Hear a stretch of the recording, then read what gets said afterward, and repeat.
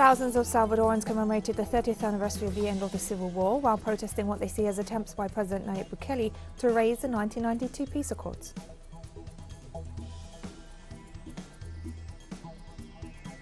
Russia has reiterated its demand that the North Atlantic Treaty Organization halt its expansion eastward.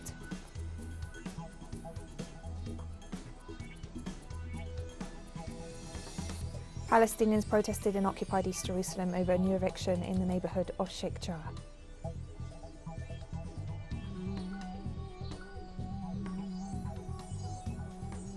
From the headquarters of Telesur English in Havana, Cuba, this is from the south, and I'm Katrina Goss. We begin in El Salvador, where thousands of people commemorated the 30th anniversary of the end of the Civil War on Monday, while denouncing what they claim are attempts by President Nayib Bukele to erase the peace accords that established the foundations of the country's democracy. President Bukele on Sunday sanctioned a decree to honour victims of the civil war that the opposition considers a delegitimization of the peace accords that signalled an end to the conflict 30 years ago. The decree approves the move to commemorate the National Day of the Victims of the Armed Conflict on January 16th, after the ruling party, which holds a majority in the Legislative Assembly, repealed a decree that established the date as the National Day of Peace. Lawmakers argued that the peace accords represented the signing of a pact by a small circle of power, which for years has been a symbol of injustice and social exclusion. But opponents of Bukele, who became president outside the traditional parties, accuse him of wanting to erase the agreements and politically wipe out the two parties that signed the peace accords.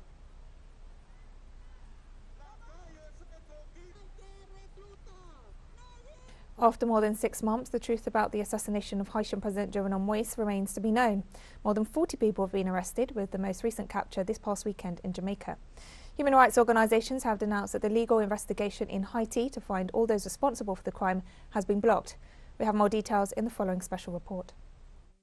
Joseph John Joel. A former Haitian senator suspected of being a key player in the assassination of the Haitian president was arrested this weekend in Jamaica, where he is presumed to have arrived since December, a fugitive from justice. Jovenel Moïse pouvoir illégal, illégitime Jovenel Moïse John Joel Joseph, a well-known opponent of Jovenel Moïse, is accused by the Haitian police of providing weapons and planning meetings like this one in Florida, where the plot was organized. Antonio Palacios Palacios. Last October, also in Jamaica, another key link was captured. Former Colombian military officer Mario Antonio Palacios, who was deported to his country after a stopover in Panama, a coordinated action between Colombia and the United States led him to Florida, where he is now accused of conspiring to kill the president of Haiti. The rest of the mercenaries have pointed to Elias Floro as one of those who knew that the real plan was to assassinate Jovenel Moïse. Jean Rodolphe alias Dodolphe.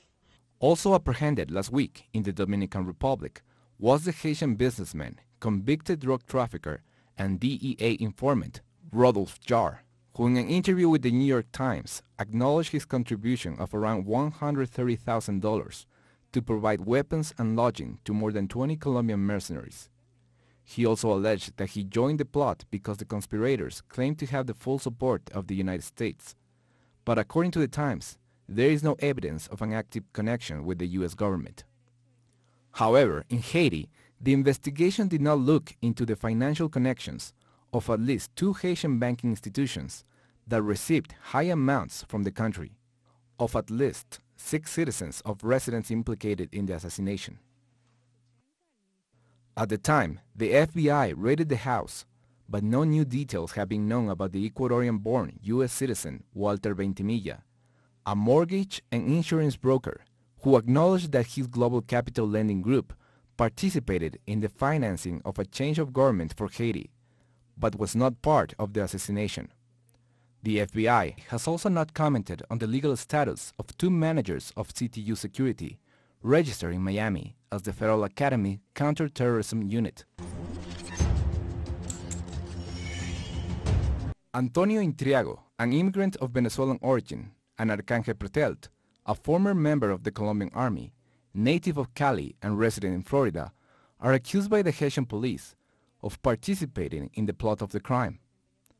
According to the Haitian National Network of Human Rights, the investigations to find all those responsible have yet to clarify the links between the current Prime Minister Ariel Henry and former official of the Ministry of Justice, who is said to be responsible for coordinating the assassination in real time.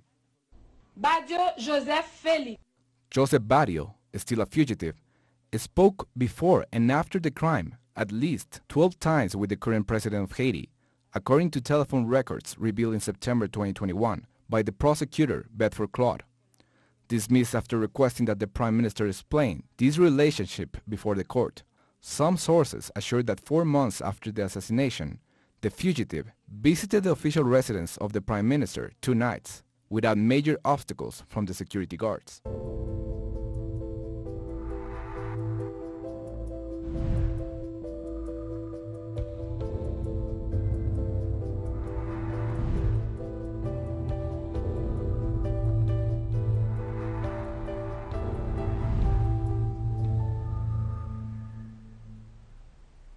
Addressing the virtual World Economic Forum this Monday, United Nations Secretary General Antonio Guterres warned of the need to vaccinate the whole world in order to end the COVID 19 pandemic. Years have demonstrated a simple but brutal truth. If we leave anyone behind, in the end, we leave everyone behind. If we fail to vaccinate every person, we give rise to new variants that spread across borders and bring daily life and economies to a grinding halt this coming year, I urge you to focus on three urgent areas. First, we need to confront the pandemic with equity and fairness. Last fall, the World Health Organization unveiled a strategy to vaccinate 40% of people in all countries by the end of last year and 70% by the middle of this year. We are nowhere near these targets. And the UN Secretary General also stressed the need to reform the global financial system and support developing countries. Now, at the core of these failures is a global inability to support developing countries in their hour of need and also a problem of governance for international different systems. Without immediate action to support developing countries, inequalities and poverty will deepen. And this will result in more social unrest and more violence. Second, we need to reform the global financial system in a way that it can work for all countries without being biased. At this critical moment, we are setting in stone a lopsided recovery. More than 8 out of 10 recovery dollars are being spent in developed countries. Low-income countries are at a huge disadvantage. The International Labour Organization has warned it could take years for employment levels to reach pre-pandemic levels, while noting the need to work to tackle increased inequality.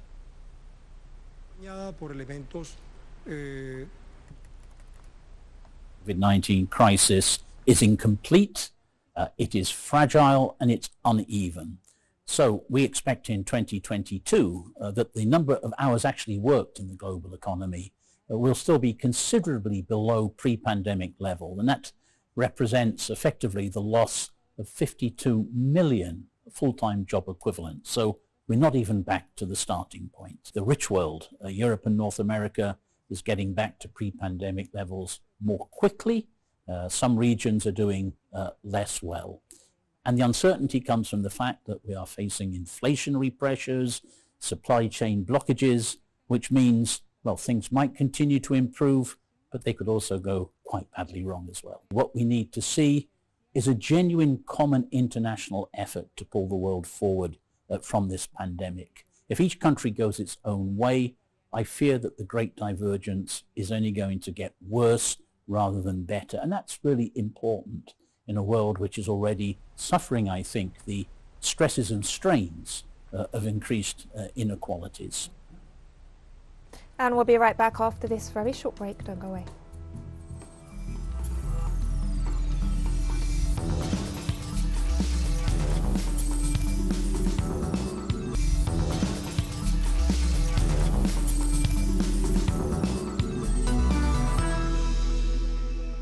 Welcome back to From the South. Russia has reiterated its demand that the North Atlantic Treaty Organization halt its expansion eastward. While noting it will not wait indefinitely for a Western response. According to presidential spokesman Dmitry Peskov, the deployment of NATO forces and weapons near Russia's borders poses a security threat that must be addressed immediately.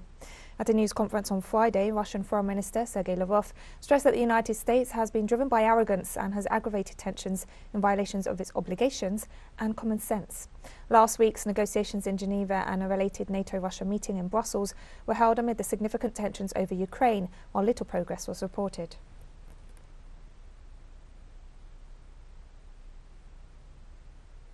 And Russian authorities again dismissed the United States accusations of an alleged operation by the Kremlin to invade Ukraine.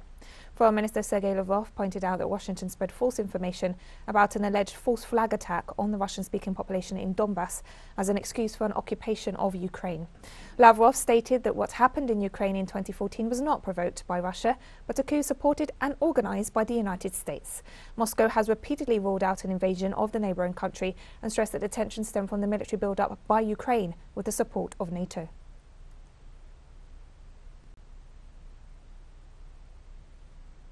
Reports have revealed that the United States Central Intelligence Agency has been overseeing a secret training program for Ukrainian Special Operations Forces and intelligence operatives since 2015. The revelations cite five former intelligence and national security officials. The US officials said the intelligence agency has been supervising the covert training program in preparation for a potential conflict with Russia. The mission has allegedly been underway since 2014 and is based at an undisclosed facility in the southern US. The military boot camp has included exercises in firearms, camouflage techniques and land navigation.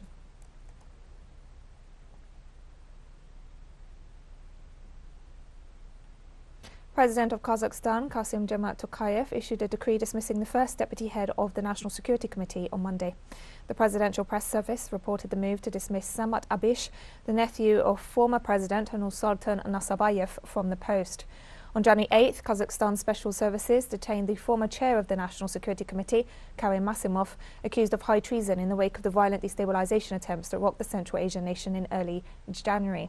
On January 13th, the ex-deputy chairman of the National Security Committee, head of the Special Task Service and the former deputy chairman of the National Security Committee were also detained.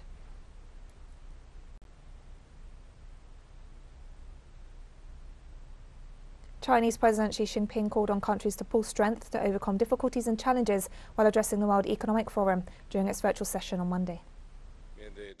To meet the severe challenges facing humanity, we must add wings to the tiger and act with the courage and strength of the tiger to overcome all obstacles on our way forward. We must do everything necessary to clear the shadow of the pandemic and boost economic and social recovery and development so that the sunshine of hope may light up the future of humanity. The world today is undergoing major changes unseen in a century. These changes, not limited to a particular moment, event, country or region, represent the profound and sweeping changes of our times. Notwithstanding all vicissitudes, humanity will move on. We need to learn from comparing long history cycles and see the change in the things through the subtle and minute. We need to foster new opportunities amidst crisis, open up new horizons on a shifting landscape, and pull great strength to go through difficulties and challenges.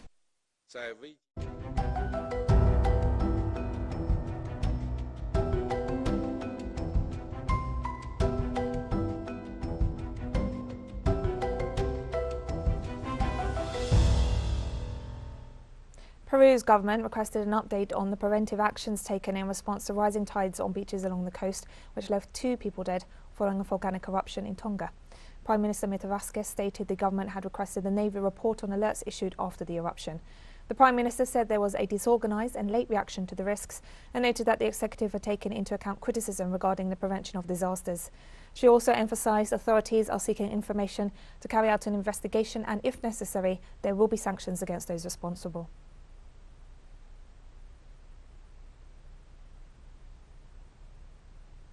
And the Pacific island nation of Tonga was virtually cut off from the rest of the world on Monday after a massive volcanic blast that crippled communications and stalled emergency relief efforts.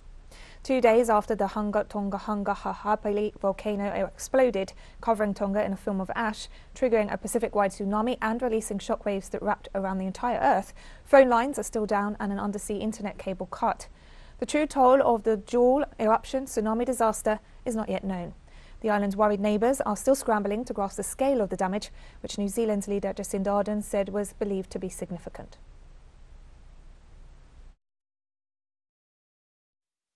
Of course, uh, what uh, the Orion is doing is, is a reconnaissance. Uh, it is, as are the Australians, uh, looking to undertake an assessment uh, from the air uh, of the outer islands in particular, and then, of course, provide that information uh, to the people of Tonga and Tongan authorities. Uh, for the C-130, we're of course undertaking planning to enable drops to be undertaken regardless of the status of the airport. Ash cloud um, does pose a risk. Um, the view on departure was that they would be able to undertake that, that over-flight reconnaissance though and provide that really critical information back. Uh, the flights undertaken today uh, will help us establish what needs there might be, as will the ongoing communication with officials on the ground. At the same time, though, we know water is an immediate need. The Hercules will be able to, we hope, um, take off today in order to meet that need much more quickly than our Navy vessels will be able to reach the islands. And we have more stories coming up after this final short break. Stay with us.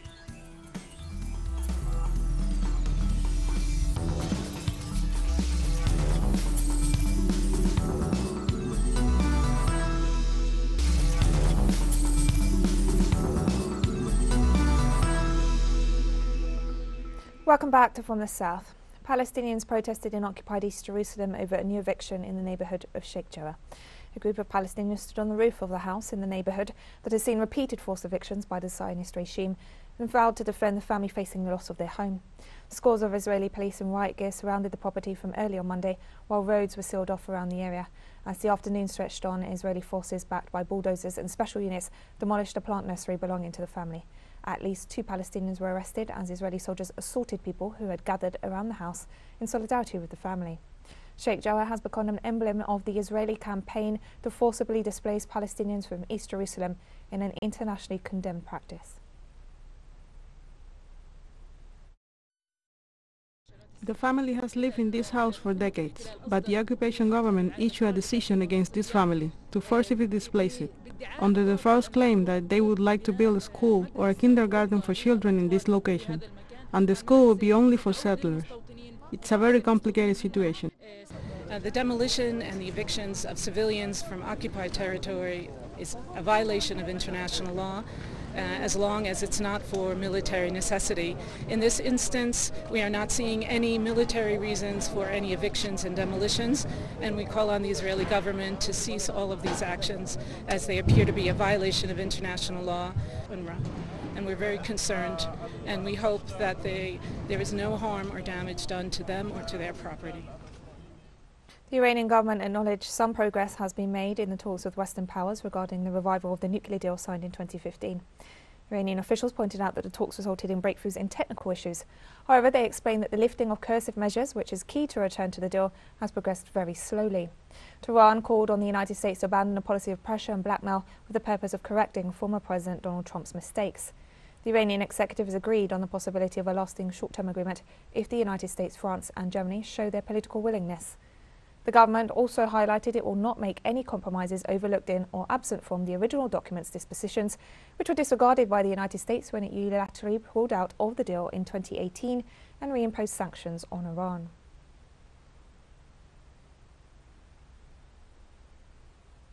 And Iran's foreign ministry confirmed Monday that three Iranian diplomats arrived in Saudi Arabia to represent Iran in the Organization of Islamic Cooperation, marking the first time that Saudi Arabia has received diplomats from Iran since 2016. The move demonstrates the possibility of reduced tensions between the Iranian and Saudi governments. Our focus is presently on reopening the offices of the Islamic Republic of Iran at the Organization of Islamic Cooperation in Jeddah. Our diplomats were granted visas and it has been made possible for them to go to Saudi Arabia. Iran is ready to reopen its embassy in Saudi Arabia. Obviously, the onus is on Saudi Arabia to take practical steps in this regard.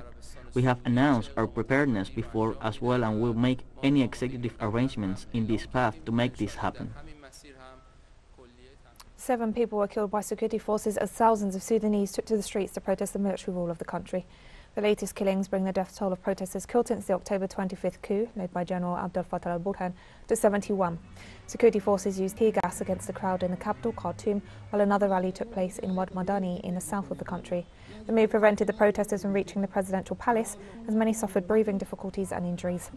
A visit by United States diplomats is set for a nearby date, supposedly seeking to establish talks with the ruling faction on the matter of a transitional period, as the international community presses for a return to civilian rule.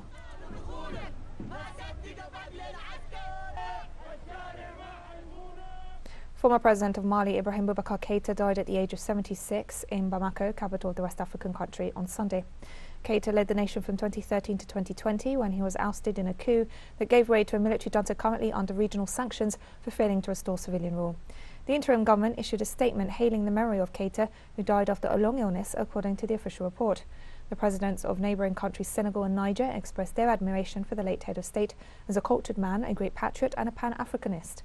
Malian politicians and activists travelled to Keita's home southwest of Bamako to pay their respects, with police guarding the entrance.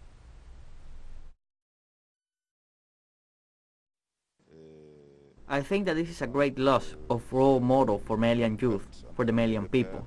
But as they say, we believe that every time God closes a door, he opens another door. Mali and the Malians have just lost a worthy son of this country, their president, a man who had Mali in his bones, a man who loved this country deeply, a great statesman, a Republican, and a father to me. And we've come to the end of this news brief, but remember you can find these and many other stories on our website at telesurenglish.net. You can also follow us on social media for all the latest news. We're on Facebook, Twitter, Instagram and Telegram. For Telesur English, I'm Katrina Goss. Thank you for watching.